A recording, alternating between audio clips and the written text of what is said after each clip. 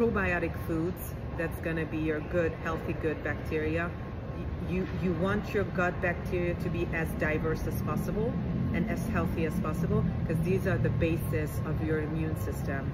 If your gut bacteria is strong, your immune system will be strong, especially really important for people who have autoimmune diseases because autoimmune diseases comes from the place where the immune system gets confused and attacks the own body parts, whichever that may be throughout the body.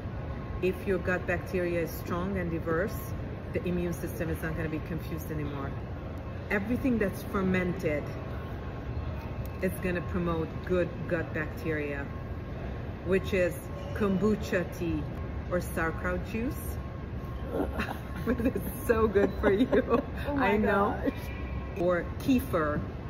Look in the milk aisle because I know it's not really, it's not really popular in the United States to know what kefir is. But if you walk down milk aisle, I checked it in Publix.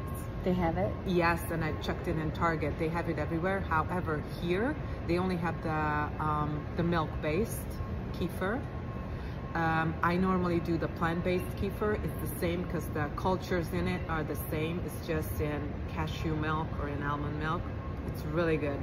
You might want to include this in your diet on a daily basis. The more you eat of it, the healthier you'll be.